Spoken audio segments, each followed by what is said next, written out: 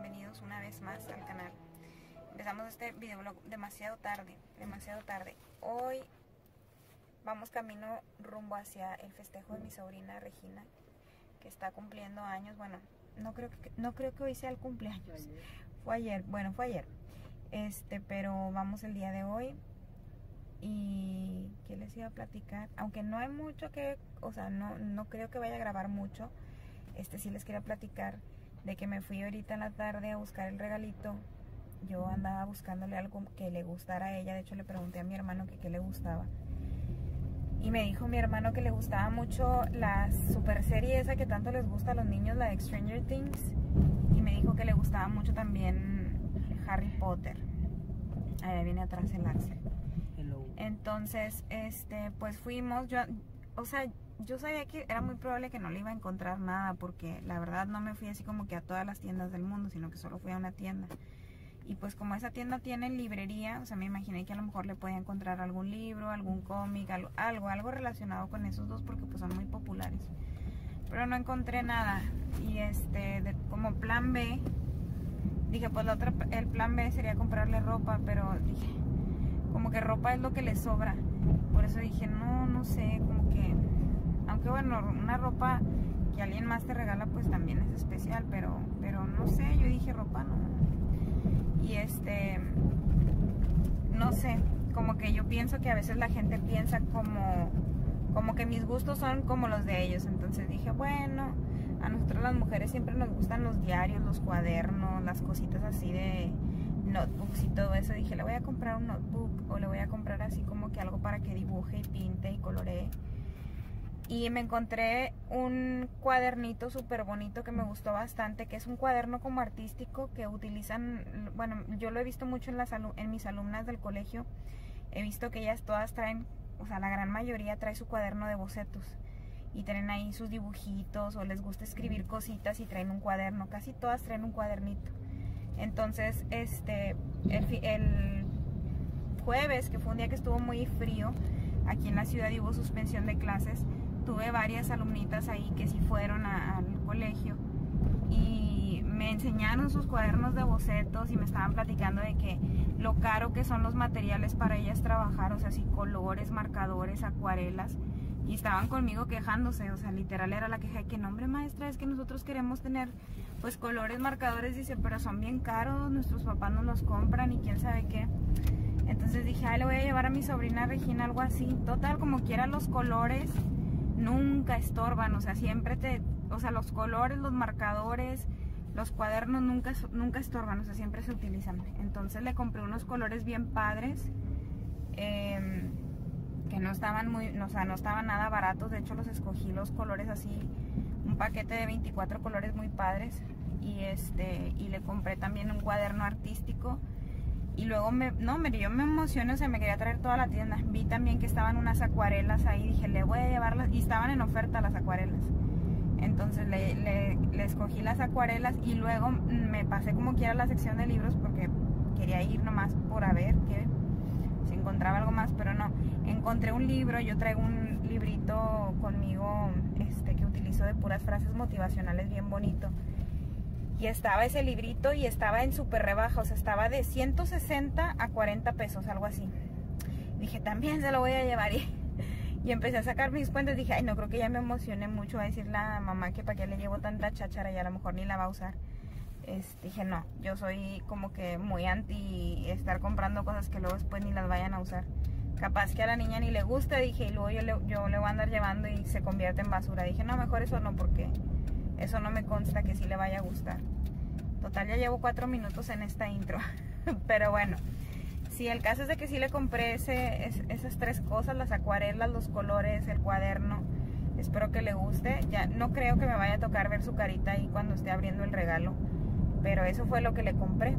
Entonces, ¿qué opinan ustedes? Déjenme saber aquí en los comentarios qué les parece mi regalo. O es un regalo muy nerd. Dice Axel que si a él le regalaran eso, él diría así como que, mm, este no lo voy a usar. Pero le digo, es que a ti no te gustan, o sea, no te gusta dibujar ni te gusta colorear, o sea, pues yo sé, si fueras tú no te lo regalaría, pero generalmente a las niñas, a las mujercitas sí nos gusta, sí nos gusta dibujar, sí nos gusta pintar. Es raro una niña que pinte feo o que no le guste dibujar o que no le guste colorear, pero bueno. A los niños sí, eso sí, los niños son grinch, pero bueno. Está bueno amigos, eso era todo. Este, Ernesto trae una super cámara muy pro. Vamos a ver si podemos grabar algo y si no, pues ya los veo mañana en otro video, ¿sale? Bye.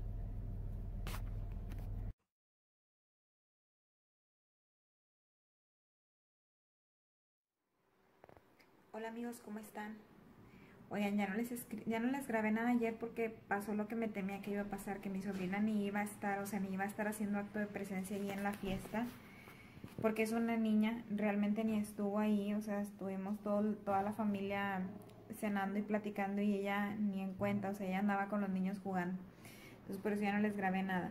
Tengo una cara de pocos amigos, pero es que tengo bastante trabajo en cuestión de tarea, en cuestión de planificación, revisión, etcétera.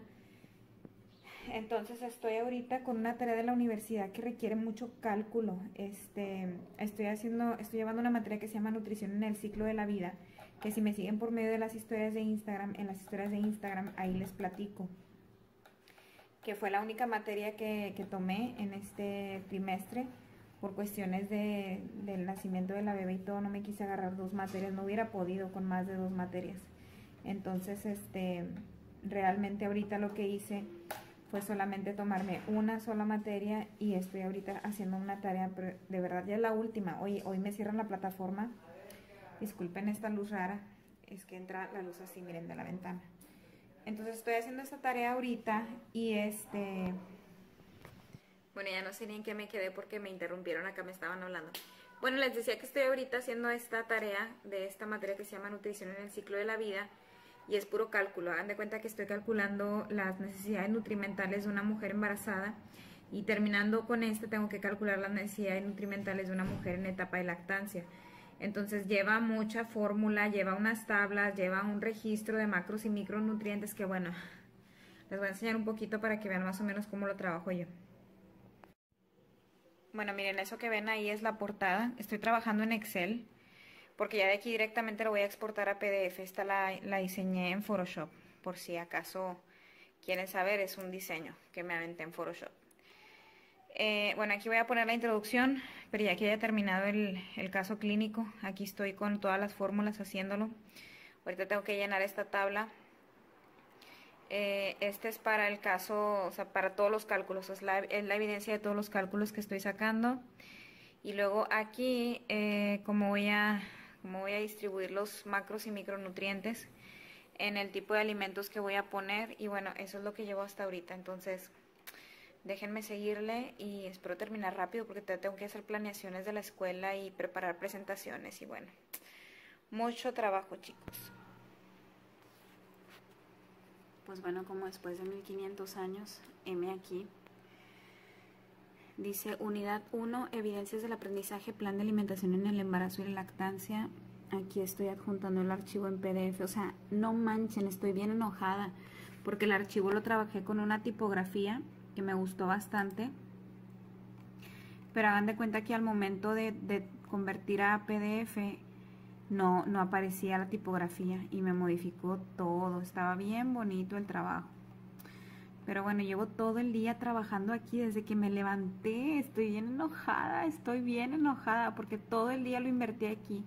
Y me falta mucho muchas cosas todavía más por hacer. O sea, tengo, tengo que hacer las planeaciones de la escuela, preparar clase, preparar este material didáctico, una decoración de la puerta de, mis asesorados. No, no, no, no, o sea, estoy infartada, chicos. Pero bueno, déjenme, en vez de...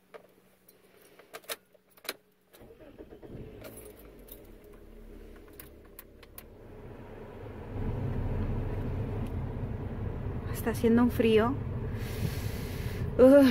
tremendo, o sea, un frío, pero aparte de frío, o sea, es frío y es lluvia. Eh, voy saliendo de una de las clases del colegio y me dirijo hacia el lugar de los, del reciclaje. Voy a ir a dejar unas cosas de papel que saqué, que ya definitivamente no tenía ningún uso, y voy a ir a hacer mi reciclaje de papel. Bueno, ya llegué a mi destino, donde voy a hacer el reciclaje. quiero platicarles de que a mí me crea demasiado, demasiado conflicto el tema de la basura. O sea, es un conflicto interno que yo tengo. Yo sé que no debo de ser como que tan extrema, pero me crea un conflicto de, de saber que estoy desperdiciando algo y que estoy generando un, sí, un desperdicio, una basura, ¿me entienden? Entonces trato de cuidar lo más que puedo, de no adquirir cosas que no necesito en realidad, cosas que luego después puedan ir a parar a la basura.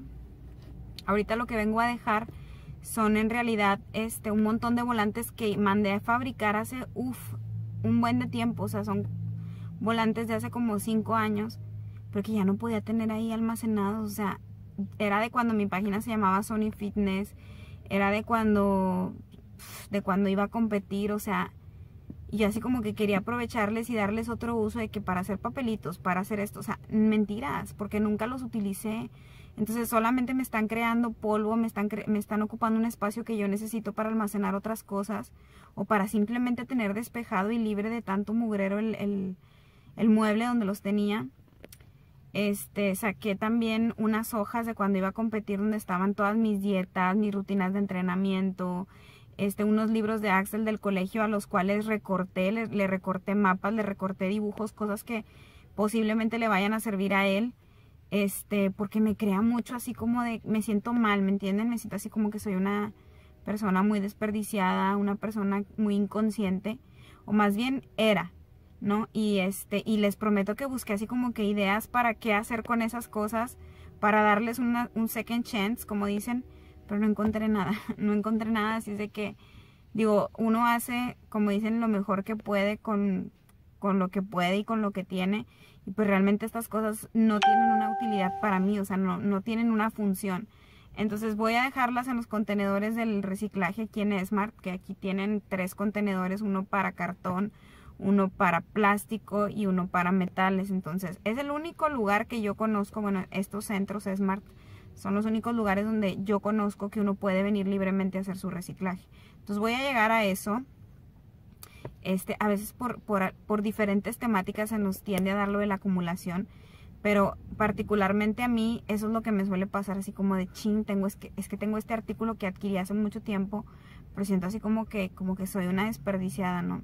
De hecho tengo dos fotocopias de libros que hice que no sé qué voy a hacer con ellas, porque pues son fotocopias, no sé si las pueda llevar a una biblioteca, este, porque también esos libros ya no los voy a leer, entonces son cosas que me crean así un chorro de conflicto, pero yo sé que voy a ir poco a poco depurando ese espacio, ese espacio es el que no he podido hacer con el método con Mari porque sé que me va a tomar mucho tiempo, sé que no me va a tomar un día, sé que no me va a tomar dos días, porque son artículos que son difíciles, son difíciles de, de, cómo soltar. O sea, es la parte que a mí personalmente, esa parte es la parte más difícil.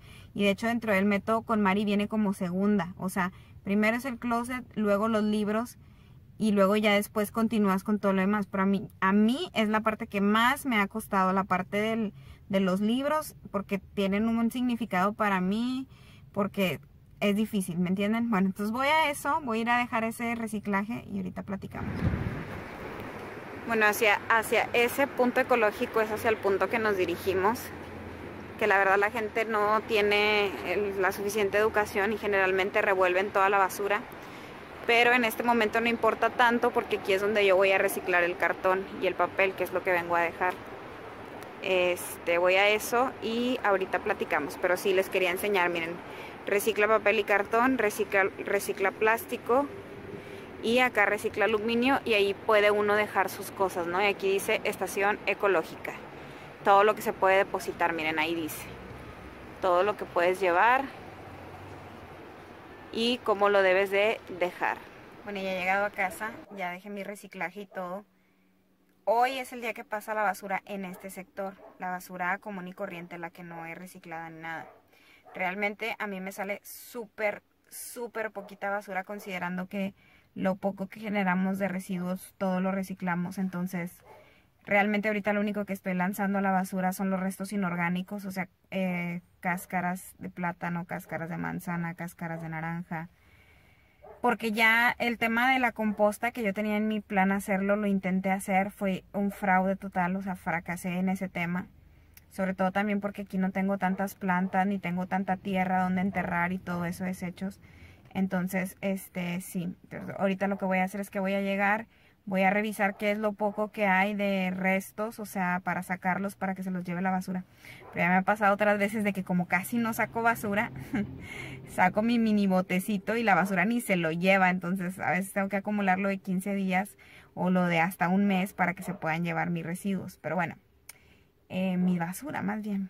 Este, pero bueno, ya voy a llegar aquí a ver qué más les puedo ir compartiendo durante el día. Este, nos vemos al ratillo. Bueno amigos, quería enseñarles esta decoración que hice para la puerta.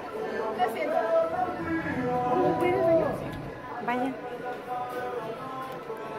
Quería enseñarles esta decoración que hice para la puerta. Como soy asesora de este salón, me tocó hacer la decoración. Miren. Me voy a alejar un poquito para que la puedan ver. Pásenle, mister. Lo único que estaba viendo yo en la puerta es que la puerta está muy manchadita, se fijan, de las orillas. Y no luce, no luce tanto. Entonces estoy pensando de que a ver si puedo hacer algún remedio natural para poderle quitar todas esas manchas a la puerta porque miren así está muy bonita la decoración pero no luce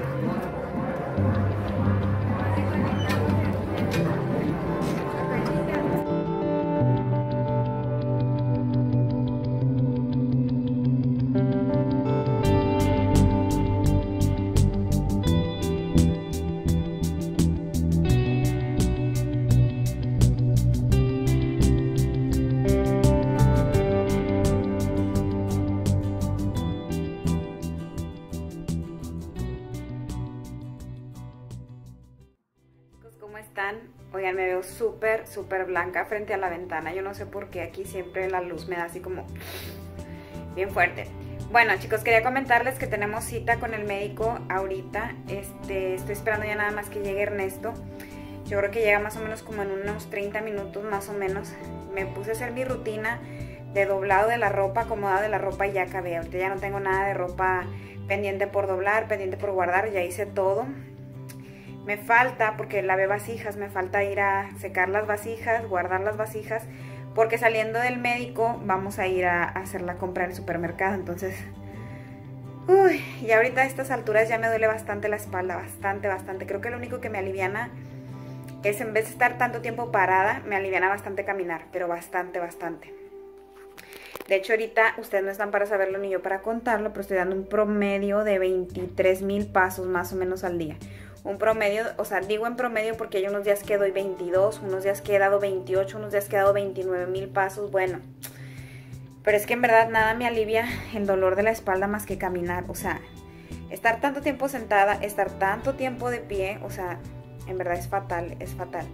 Pero bueno, déjenme me apuro porque ya me lo llega por mí. Vamos a ir a ver a la bebita, vamos a ver cómo se ve la ecografía. Este, vamos a ver si podemos llevar otro, otro tipo de dispositivo para grabar, a ver si graba un poquito mejor, a ver qué pasa. De todas maneras vamos a hacer la cala con los dos dispositivos que ya tenemos para ver cuál sale mejor, para darles bonitas tomas de la bella. Pero bueno, ahorita nos vemos, nos vemos allá. Vamos a adelantar un poquito el reloj y vámonos a ver al doctor y la ecografía.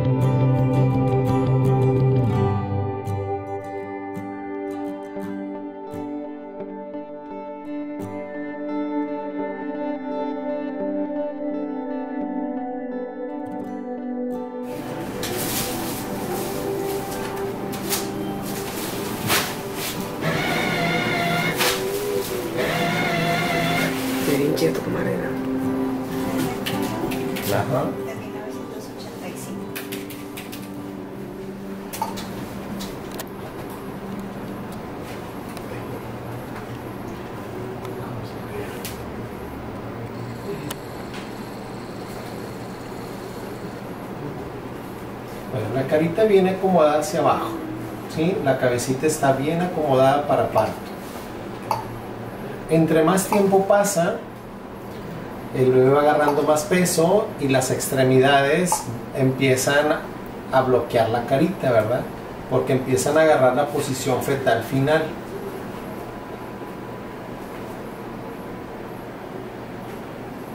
Vamos a ver si buscamos otro ángulo.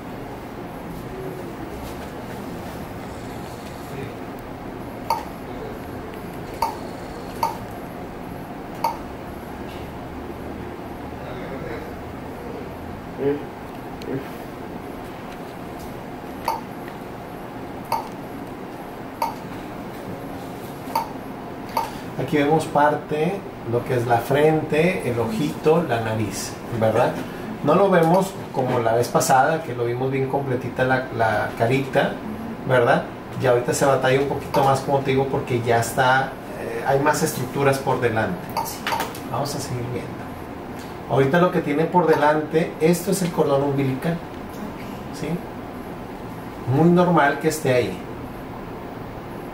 Mira, ahí se mueve. Bueno, en la parte alta está la cadera de tu bebé.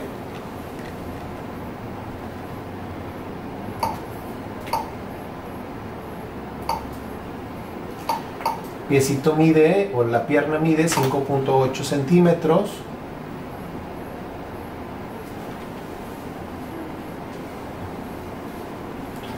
Muy buena cantidad de líquido amniótico, todo esto es líquido. Mira, aquí está el piecito.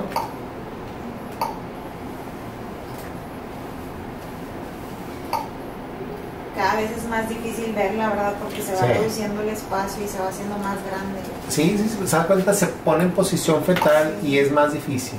Por eso el mejor momento para ver la carita es entre el séptimo y octavo mes, ¿verdad? Mira, ahorita como sea, voy a cambiarte de posición para ver si al cambiar de posición se deja ver mejor la carita, mira. Ahí se ve un poquito mejor, ¿te fijas? Sí, ya se le ve la Sí. nariz más chatita. Exactamente, el, el área del bigote, la boquita, la barbilla, lo que es el, el cachetito, el ojito, la frente, todo. ¿Sí?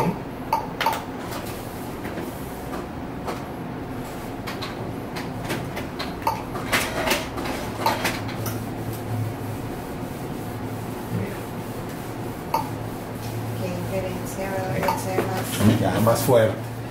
Vamos hacia este lado, por favor. Vamos a ver si cambiando de posición.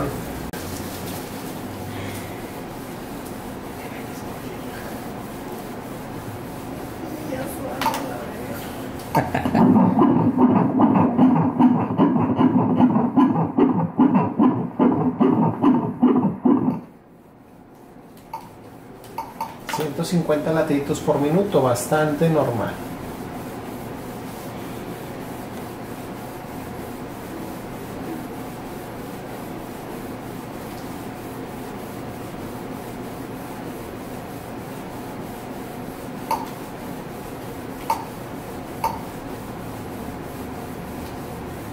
Vamos a medir la pancita.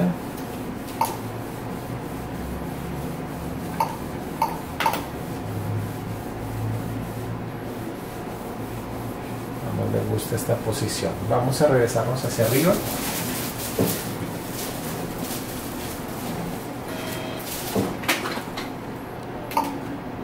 Mira, ahí debe de verse mucho mejor. ¿Eh? Sí. ¿Te fijas? Vemos con mucha claridad la naricita. ¿Quieres mostrarle esto?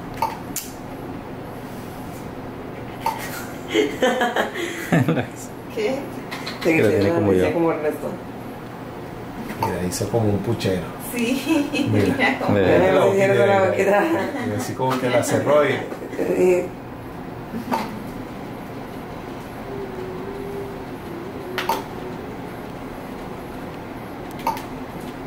Abre la boca. Sí. Ay, así ya. Y ya- Sí, mira. Oh, sí. mira. Abre mucho la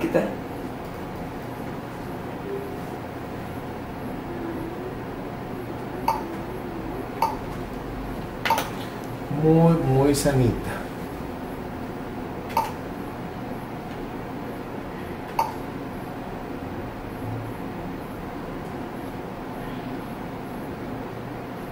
Ya- ahora sí ya se le mira como más cachetito, ¿verdad? Como Sí. que ya más- Ya como que ya está lista para nacer. Sí. Sí.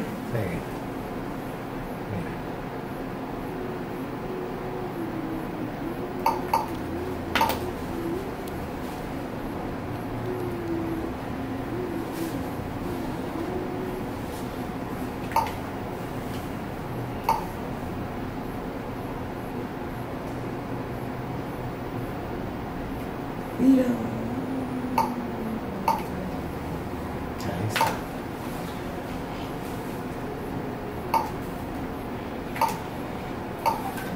Ahorita está midiendo 7 centímetros, un poquito más de 7 centímetros y ya rebasamos el kilo y medio. Pesa un kilo 789. Kilo 789. Ahí vamos. Ya, si por alguna razón vamos a suponer que hay una eventualidad, una urgencia ahorita y que tiene que nacer, ya las probabilidades de que nazca bien son demasiado altas, ¿verdad? Pero lo ideal es llegar a la semana 37, ¿verdad? Sí. Pero ahorita te digo, todo se ve muy bien. Very good, very good. La placenta está, sigue estando hacia la parte de arriba, una placenta que no te va a estorbar en nada para un trabajo de parto, ¿verdad?